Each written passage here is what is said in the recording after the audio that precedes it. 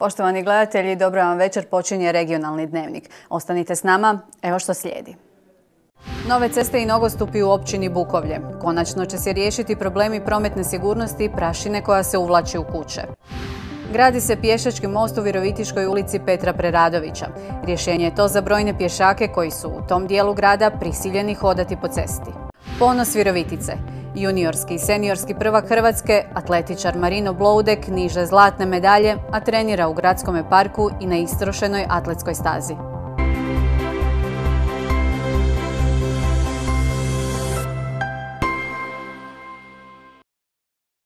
Mještani naselja Josipa Juščaka u općini Bukovlju u Brodsko-Posavskoj županiji nakon 27 godina dobit će nove ceste i pješačke staze. Time će napokon biti riješen problem prometne sigurnosti, posebno za najmlađe stanovnike naselja, ali i problem prevelike prašine koja se s kamenih cesta uvlačila u kuće. Prošle godine općina Bukovlja asfaltirala je ceste i pješačke staze u naselju Dražena Majića. Bila je to investicija vrijedna oko milijun i tristo tisuća kuna. Ovih dana započelo se s radovima asfaltiranja cestovnih kolnika i pješačkih staza u najvećem naselju Bukovlja. Ovo naselje od 95. E, kada su prvi ljudi doselili ovdje od dvije, tri kuće, danas se proširilo na sto kuća e, gdje su prije bile e, njive brdski dio njiva i kad je krenulo naseljavanje e, stvarale su se ulice i evo redom je išlo od vode, od plina, od rasvjete, stalno se nešto ulagalo, radilo se, a evo s ovim bi sada završili kompletnu priču. Ovdje imamo 1300 metara cestovnog kolnika i isto tako pješačkih staza. Veliki problem ljeti bi mještanima stvarala prašina, zimi snijeg. Problem su imali i stariji mještani i djeca koja idu u školu, ali isto tako i roditelji s kolicima. Mala djeca dosta ima u ovom naselju, čak e, može se reći jedan razred ove male djece i igralište normalno koje smo napravili, e, teško je doći do tog igrališta. Sad smo u tom projektu da to napravimo, da to riješimo, da to bude nešto, da to naselje bude uzor i gdje nećemo stati samo na njemu. Meni puno auta mi mnogo smetaju, spor sam ga bavio i noga me boli da iđem stazom, mnogo je drugše, sigurno. Ceste se planiraju raditi u ulici Dražena Majića u Bukovlju, ali i u cijeloj općini Bukovlje, u Ješeviku, Korduševcima, Šušnjevcima i Vranovcima, za čije ulice se radi projektna dokumentacija i koje će u nadolazećem periodu također biti asfaltirane. Postavljanjem rasvijete ulici Dražena Majića završena je investicija vrijedna milijun kuna, kojom su obuhvaćene i ulice Masleničkih vitezova, Stadionska i Vinogradska, u kojoj je bilo najviše problema zbog dale dalekovoda koji idu ulicom. Negdje smo imali e, stupove HEPA pa smo mogli ubacivati javnu rasvjetu. Znači ovo smo morali raditi projekt jer e, nadzemno e, ne ide gdje god su nam dalekovodi, tu idemo sa podzemnim instalacijama, pogotovo ovdje nam je županijska cesta i imamo uz samu cestu velik broj instalacija, tako da smo morali napraviti dobar projekt da taj dio pokrijemo. Ceste, pješačke staze, rasvjeta dobro su došle svima, a najviše djeci i mladima koji su i najaktivniji u zajednici. No za njih je ovih dana završen još jedan projekt koji im puno znači, a riječ je o umjetnoj travi na igralištu. Radovi na izgradnji pješačkog mosta preko rijeke Ođenice u Virovitičkoj ulici Petra Preradovića napreduju prema planu. Kada bude završen, taj dio grada postaće siguran za pješake koji su sada, umjesto nogostupom, prisiljeni hodati po cestovnom mostu. Potencijalno opasna točka za sve sudionike prometa, a osobito djece, uskoro će postati stvar prošlosti. U cestovni most gradi se i pješački građani već godinama traže upravo taj most u Petra Preradovića iz jednog klasičnog razloga što je na sam most dizajniran tako da je na centru mosta postavljena uzvisina i onda često puta kad vozači idu, a i sam sam vozač prolazimo uda, ne vidite malu djecu. A djeca su prisiljene na tom uskom dijelu mosta za probit u kolniku zajedno sa automobilima. Završetkom 18 metara dugačkog drvenog mosta pješaci će lakše i sigurnije prelaziti taj dio ulice. Osigurali smo 400.000 kuna u proračunu eto, i počeo za izgradnju pješačkog drvenog mosta. Drvenog zato što je drvo oko nas, na taj način da simboliziramo i ono što radimo. Evo, to je muzej drveta u gradu, pa i drveni most, koji će sigurno pomoći ovim najmlađima da sigurno stignu do škole. Završetak radova se očekuje u ljetnim mjesecima, no odmah nakon mosta očekuje se nastavak radova uz rijeku Ođenicu. Uredit će se šetnica, pa će se život vratiti tamo odakle je i počeo. Ovaj dio gdje sad stojimo bit će sastavni dio najbolje ili najljepše šetnice u gradu, jer će se ta šetnica protezati od znači, maltene zaobilaznice, tamo naše klaonice, do samih ulaza na Virovitička jezera, što će biti dobro i za bicikliste i za šetače. Cijeli će projekt osim sigurnosti pešacima i biciklistima središtu Virovitici donijeti sasvim novi izgled.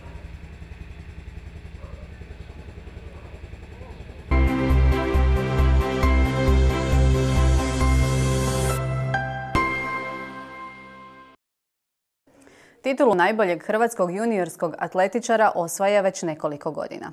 Odlične rezultate ostvario je i u seniorskoj konkurenciji i s razlogom je ponos Virovitice. Marino Bloudek i prije nekoliko dana Hrvatskog kupa za juniore vratio se s tri osvojena zlata.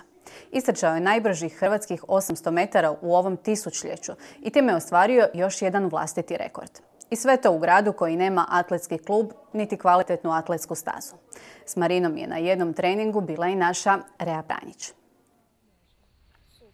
Od nogometnog talenta do velike atletske priče. Marino Bloudek još do prije četiri godine bio je na Dinamovoj listi mladih nogometaša. No, lomom mnoge stvari su krenule u drugom smjeru.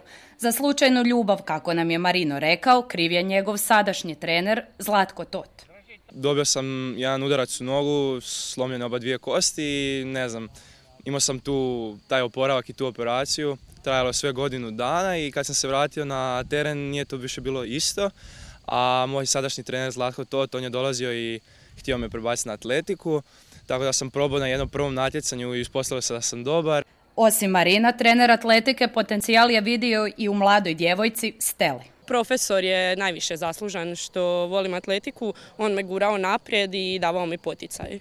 A rezultati trenerova poticanja nisu izostali. Danas i Marino i Stela ostvaruju iznimne rezultate. 1500 metara sam istrčao samo na pobjedu jer juniorska konkurencija i nije tak nešto, ali to sam išao na pobjedu da donesem klubu bodova. Eh, jer drugi dan mi je bila važnija trka na 800 jer to je moja disciplina inače i htio sam dati sve od sebe pošto eh, htio sam ići svoj osobni rezultat. Išao sam ga 1.49.18 što je za sad najbolji u Europi, a deseti u svijetu. Trenutno sam postigla svoj osobni eh, rekord na 800 metara i u budućim natjecanjima očekujem još bolji nastup. Kako u Vjerovitici ne postoji atletski klub, oboje su članovi Zagrebačkog agrama s kojim nastupaju na važnim natjecanjima. Treninge ipak odrađuju u svojoj Vjerovitici. Neprimjereni uvjeti i loša atletska staza nisu, kažu pokazatelji uspješnog treninga.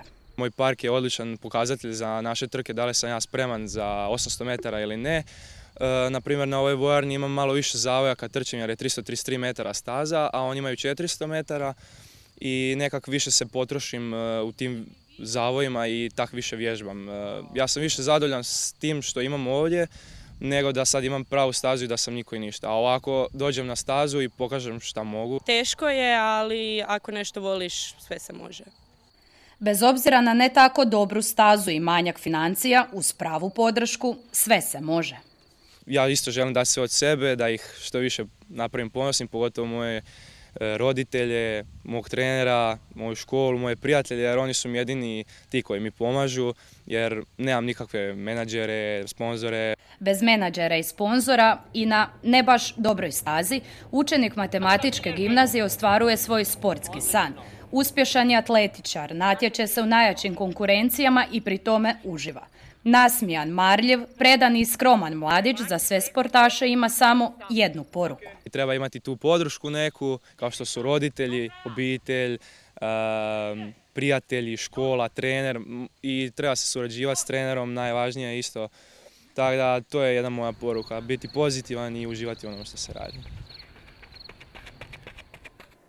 Američki jazz sastav Metro Big Band nastupio je prvi puta u Hrvatskoj i to u Slavonskom brodu. Vrhunski glazbenici su u sklopu europske turneje svirali bez naknade koji su se odrekli u korist članova Slavonsko-brodske udruge SLAP. Udruga je to koja pomaže djeci oboljeloj od malignih bolesti i njihovim roditeljima, a novac prikupljen na koncertu iskoristit će za plaćanje režija, stana u Zagrebu koje koriste roditelji oboljele djece, za lijekove, liječenje izvan Hrvatske i ortopedska pomagala.